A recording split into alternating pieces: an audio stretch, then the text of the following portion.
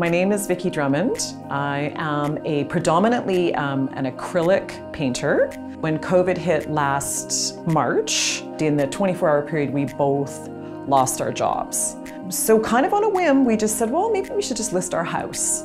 And it sold in 24 hours. We kind of took that as a sign and just said, okay, let's, let's move to Victoria.